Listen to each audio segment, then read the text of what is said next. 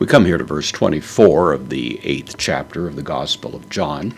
Jesus is making a sharp distinction between himself and his adversaries, who represent the religious leaders there in Jerusalem.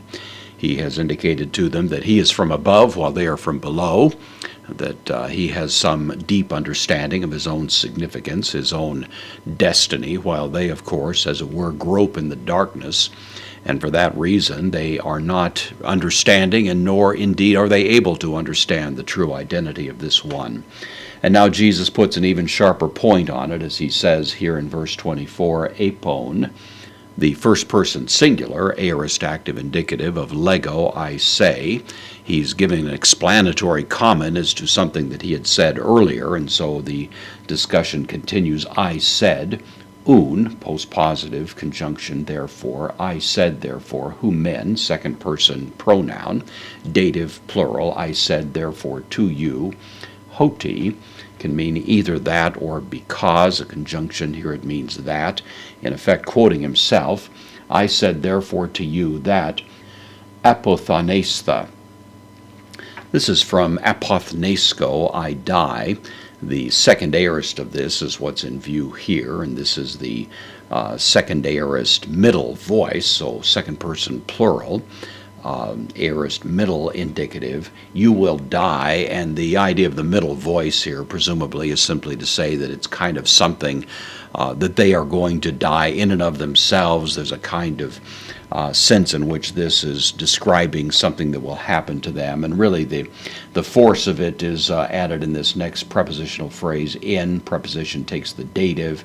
Here is the dative article, uh, plural uh, dative uh, feminine going with hamartiais. So tais hamartiais, you will die in the sins humon, second person plural genitive of the pronoun. So you will die in your sins. You're going to die kind of in and of yourselves in your sins is uh, the force of it. Very powerful idea. I said, therefore, to you, you will die in your sins.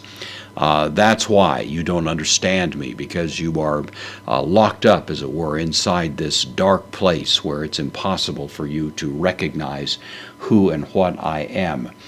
ean, the uh, word for if, takes the subjunctive. For if, the postpositive uh, conjunction here, for if may, pisteusete, if you do not or did not believe, if you do not believe, hoti, that, and then ego, a me, powerful idea, of course. Uh, uh, clearly an allusion back to the Septuagint name for God, Yahweh. If you do not believe that I am, uh, not I am something or other, uh, I am uh, the Christ, I am the door, I am uh, the bread of life. Any of these might have been filled in there, but he simply leaves it hanging there and it would be almost impossible to miss the point that uh, Jesus is making an affirmation concerning his own deity, his own identity in some ways, with the I am of the Old Testament, the Yahweh figure that we find throughout the Old Testament. If you do not believe that I am, and then the same word again, apothaneisthe,